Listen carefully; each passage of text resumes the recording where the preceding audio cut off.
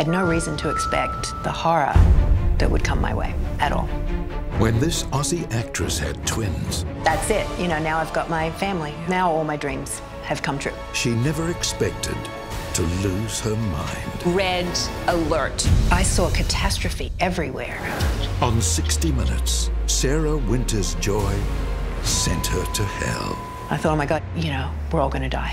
Now she's fighting the taboo, That person was not able to function as a normal human being. trying to make sense My whole brain changed. of postnatal psychosis. I'm sad because I missed so much. You know, I didn't get to enjoy my babies. Brand new stories every week.